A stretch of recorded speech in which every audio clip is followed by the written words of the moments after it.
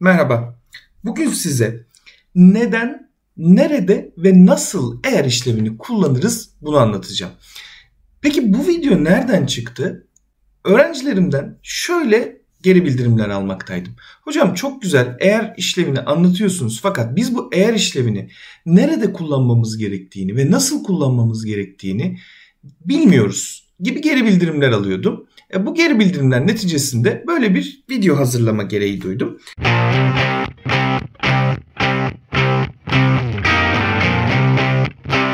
Eğer işlevi iki değer arasındaki mantıksal karşılaştırmaları yapar ve bize koşula bağlı olarak değerleri hesaplayarak verir. Eğer işlevini peki biz nerede kullanıyoruz? İki verinin karşılaştırmasında örneğin büyüktür ve küçüktür gibi karşılaştırmalar yaparken kullanıyoruz. Eğer formülünü tek başına kullanabileceğimiz gibi içerisinde farklı formüllerle birlikte de kullanabiliyoruz. En yaygın kullanımı eğerle birlikte ve eğerle birlikte ya da gibi formüllerin kullanımı. Ama sadece bu iki formülü mü kullanabiliyoruz? Hayır. Eğer formülünün içerisinde aklımıza gelebilecek bütün formülleri kullanabiliyoruz. Düşey ara gibi, e topla gibi, çok e topla gibi çeşitli formülleri eğer formülünün içerisinde kullanabiliyoruz bir sütundaki verilerin olup olmadığını ya da doğruluğunu hesaplatabiliyoruz. Bunlarla ilgili bu saydığım özelliklerle ilgili sizlere güzel birkaç örnek hazırladım. Gelin bunları birlikte yapalım.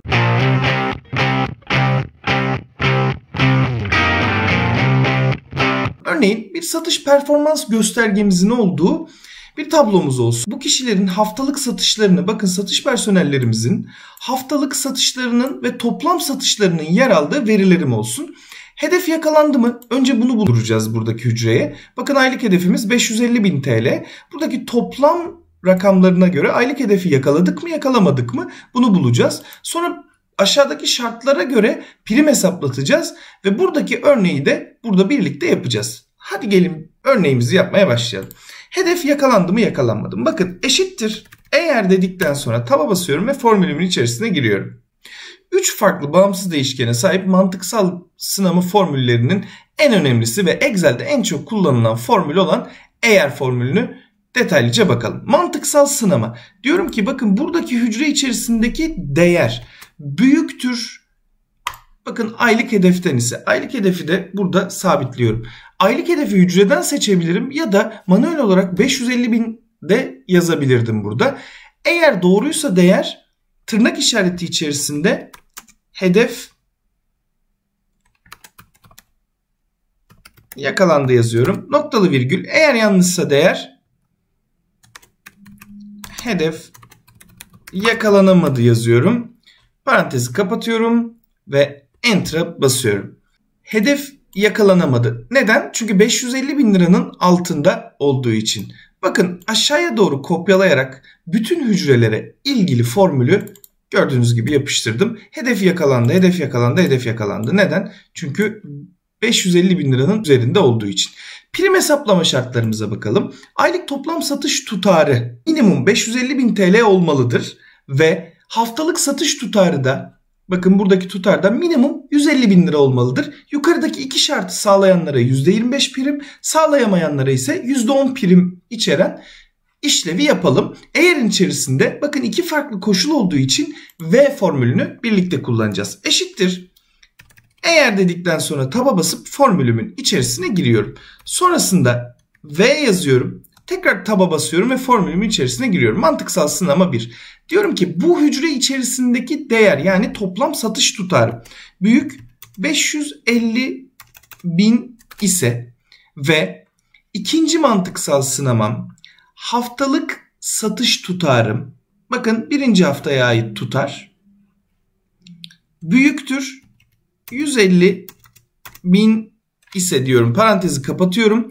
Yani mantıksal sınavım şu oldu. Dedim ki toplam satış tutarım 550 bin liradan fazla ise ve birinci haftadaki satış tutarım da 150 bin liradan fazla ise noktalı virgül eğer doğruysa değer %25 prim hak ettin diyeceğiz toplam satış tutarından. Eğer doğruysa buradaki hücremdeki toplam tutarım çarpı 25 yüzde diyorum. Siz buraya 0,025 de yazabilirsiniz.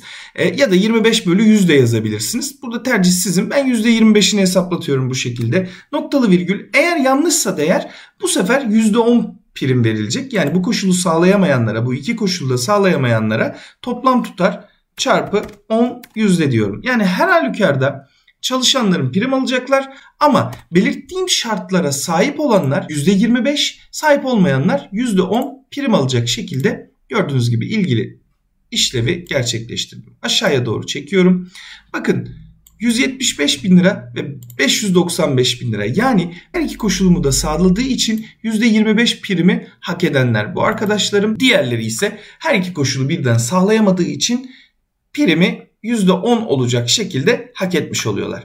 Bakın birinci haftanın tutarı. Buradaki örneği yapalım. Birinci haftanın toplamı, hafta birin toplamı ikinci haftanın toplamından büyük ise başarılı.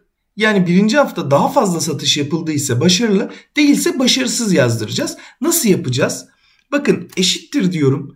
Eğer dedikten sonra taba basıyorum formülümün içerisine giriyorum. Mantıksal sınama kısmında birinci haftanın toplamının ikinci haftanın toplamından büyük olduğunu hesaplatmak için içerisinde bir formül kullanacağız. Bakın topla diyorum taba basıyorum formülümün içerisine giriyorum. Diyorum ki burası parantezi kapatıyorum.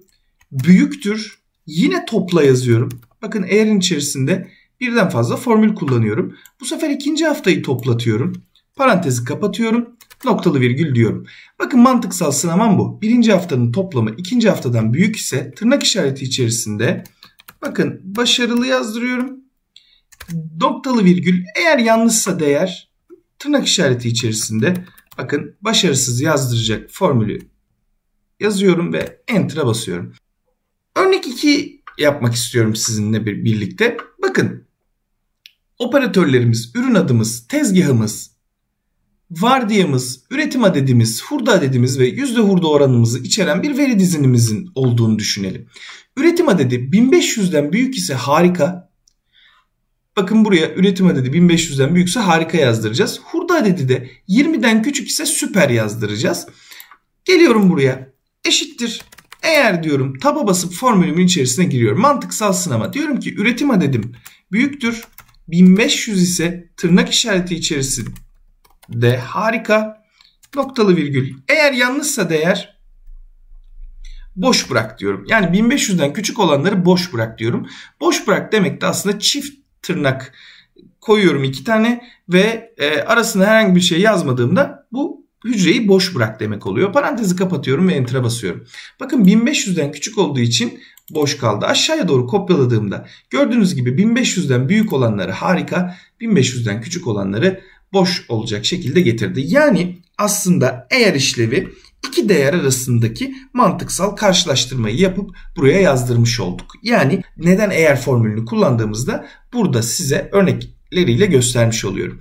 Bakın hurda dedim eşittir eğer diyorum mantıksal sınama. Ne demiştik? Hurda dediğimiz 20'den küçükse yani hurda dedi değeri bu hücre içerisindeki değer küçüktür. 20 ise tırnak işareti içerisinde süper yazıyorum. Noktalı virgül. Eğer yanlışsa değer başarısız yazıyorum. Bakın yine tırnak işareti içerisinde başarısız yazıyorum. Parantezi kapatıp enter'a basıyorum. 20'den büyük olduğu için başarısız yazdı. Bakın 20'den küçük olanlara süper yazdı. Ben burada başarısız yerine bakın başarısızı siliyorum ve yine boş bırak diyorum. Gördüğünüz gibi ilgili hücrelerimi 20'den büyük olan değerler için boş bıraktı. Gördüğünüz gibi 20'den küçük olan değerlere de süper yazdı. Tezgah sütununda bakın bir de burada tezgah sütununda boş olan değerler var. Bu boş olan değerleri hızlıca bulduralım. Nasıl yapacağız? Bakın e boşsa diye bir formülümüz var. Taba basıyorum e boşsa. Buraya geliyorum. Hücreyi seçiyorum. Hangi hücre? Parantezi kapatıyorum ve enter'a basıyorum. Bakın yanlış. Boş olanlar için de doğru olacak seçeneği bana burada verdi. Şimdi geliyorum. Bunun başına eğer formülü yazıyorum. Farklı bir uygulama olsun diye bunu yapıyorum sizlere. Mantıksal sınamam zaten burası. Eğer doğruysa değer yani boşsa tırnak işareti içerisinde boş yazdırıyorum. Noktalı virgül. Eğer yanlışsa değer çift tırnak koyuyorum yani boş bırak diyorum ve enter'a basıyorum. Bakın gördüğünüz gibi içerisinde dolu olanları boş bıraktı. Hücrenin içerisinde herhangi bir veri olmayanların yanına boş yazdı ve hızlıca ben burada boş olan hücrelerin yanına boş yazdırıp ilgili kontrolü sağlamış oldum. Sizler de bu şekilde eğer formülünü e, istediğiniz farklı biçimlerde kullanabilirsiniz. Unutmayın ki Excel'de zihnimizde kuramadığımız hiçbir işlemi Excel'e yaptıramayız. Bu nedenle önce zihnimizde kurup sonrasında Excel'e dökerek ilgili işlemlerimizi Excel formülleriyle kolayca yaptırabiliriz.